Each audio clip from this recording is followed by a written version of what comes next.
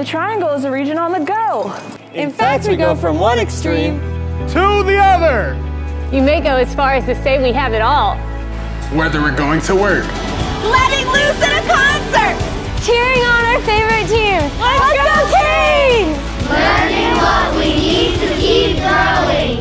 Grabbing some food and brews with my friends.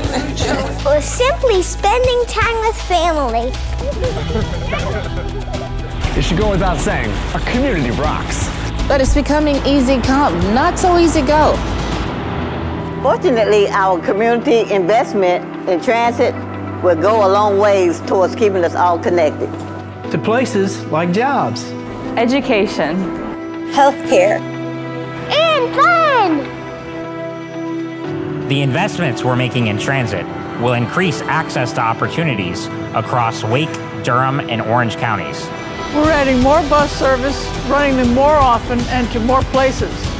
We're building bus rapid transit with dedicated lanes, priority signals, and easier boardings. Creating 37 miles of commuter rail service between Garner and Durham. As we go forward with our community investment, we're building a transit system that's safe, reliable, and fast transit investment and job creation go hand in hand. For every $1 billion invested, 50,000 jobs are created. That's a lot of jobs. And it's a lot more savings for you and a lot less stress. If you let us go the distance for you. Yeah, to places like work. And restaurants. Schools. Hospitals. Parks. Places of worship. Sports. And cultural centers. In the Triangle, we're raring to go boldly into the future with the mobility our transit investments will bring.